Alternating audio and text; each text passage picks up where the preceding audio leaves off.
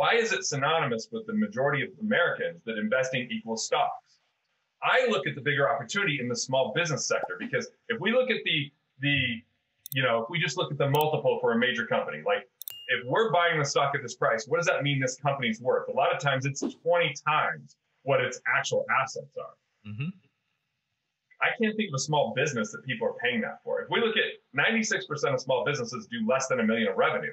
So less than a million of revenue doesn't get big multiples. It's it's it would be shockingly rare. A lot of times you're buying for one to three times of EBITDA, which for those that don't know EBITDA, it's you know earnings before interest, taxes, and appreciation. It's just a way to calculate after certain expenses what the company is worth. So we can buy that at a deep discount, and there's actually more room for growth in a lot of those things because a lot of business owners, as you know, neglect their cash flow, don't focus on their money.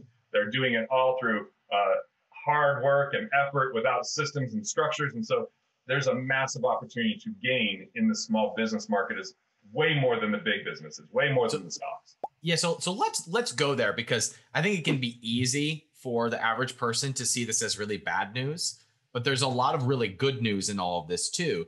Like yeah. when, when when you you mentioned that there's coming, there are going to be a lot of big businesses replaced by up and coming businesses. And sometimes that can sound a little bit scary. But if we look at the last 20 years, where was Amazon 15, 20 years ago?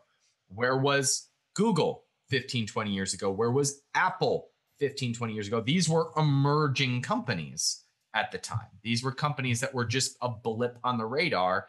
And now they're trillion dollar companies. I don't know about you, but when I was a kid, a trillion dollars was like saying a kabillion dollar, a kabillion billion dollar. Like it, it was a oh, yeah. number that didn't exist. Exactly. Right. And and now you have multiple companies that are worth a trillion dollars. Where where was Facebook 10 years ago? I don't even know if it was public 10 years ago. And so those who were looking at those companies are now fabulously rich because they were looking at where the world was going right. rather than where we are and where we have where right. we have been. I, I work with a I mean, my, my business is capitalism.com. I help people start businesses, specifically physical product businesses, because that's where I've seen people get the most traction and hitting their first million in, in a year or so. There was just a case study that came out. It wasn't out of our community, but there's this company called Laird Super Creamers. Are you familiar with this company? Super Creamers? I know. Yeah, so they're, they're, they're, a, they're a powdered coffee creamer company. Okay. Right. And and like it's it's big and it's actually big in our in our little circle in like the paleo health community, right? So there's. I'm an amateur barista. I don't do powders. I just okay. Very good. Beginning, so that's very good. That's so so this this company is does about 19 million dollars in top line revenue. They're not and they're not profitable. Okay, so they're they're like on an they're growing aggressively. 19 million is nothing to sneeze at, but it's it's not like their Facebook, right? They just went public and they currently have a valuation of 425 million dollars, Garrett. Now that's ridiculous. That's absurd. It makes no sense. And I don't care because it just shows how valued good emerging companies are, which is why I think it's the best time ever to take control of your finances by becoming an entrepreneur.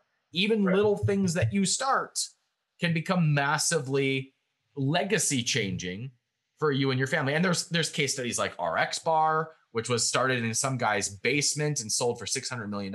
There's Mirror, which was just a company started by a husband and his wife, and they were bought by Lululemon for $500 million in two years. There's Native Deodorant, which was started by one dude for 500. He started with $500. He sold to Procter and Gamble two years later for $100 billion. There's a bunch of these case studies. And so there's plenty of good news happening while the structure of everything is fractured. One of the other good news you mentioned low interest rates is for the for the a down payment on a home, you can acquire a business. And with the interest rates the way they are today, the majority of those that you buy can cash flow from day one. Now, you have to get knowledge about it. You have to know what you're doing with it. You have to great gain a skill set. But look, if people can go through school and learn math and science, they can learn business. Business is in some ways easier. In other ways, there's people and emotions involved, which makes it complicated. But you know, you've done it over and over, Ryan. So, you know, you've got a formula, you understand how it works. And, and I just think that that's the news. The news is we've been trained, taught, and educated to wait for 30 years, hoping compound interest will save us. 95% of the mm. time, people are not financially independent at age 65. So compound interest isn't the miracle it's purported to be. What is the miracle is cash flow and having entrepreneurship because entrepreneurship comes with a lot of tax advantages and a lot of influence that you can do to have some degree of control over the outcome versus just hoping that it all works out. And so I, I think that we, we it's time for entrepreneurs to rise because we have so many businesses coming onto the market and there's so many things that can still be created or invented or or dialed in. And Ryan, dude, when we were when we were little babies, you and I were little babies, think about how much it took for someone to start a business versus now the tools and infrastructure that exist that are near free or very inexpensive to help you to do something like that. I have someone that's a client that two years ago started a business on Amazon, struggling, struggling, struggling, does a call with my team. They're exiting for three and a half million. Dude, they weren't even, I was just like, wow. Like, I'm, and then they're like, hey, do you want one of these things for free? I, thanks for all your help. And I was like, dude, it's crazy because I, you know, it's just amazing how short of a turnaround that was. And it was a, a mom that just was now, okay, my kids are out of the house. What am I going to do? And start a business. And within three years from the time it was started, is selling it for three and a half million dollars. I mean, that's pretty phenomenal. Like, that's an exciting time to be alive. The bad news is we can't just sit around and hope someone's going to come save us because government can't save you. Amen. Corporations won't save you, and effort isn't enough. It's time to leverage intelligence and add more value. And entrepreneurship's a beautiful vehicle. Want to continue the path to be a better investor? Make sure that you're not losing money and taking too much risk? Click here and learn about strengths vesting.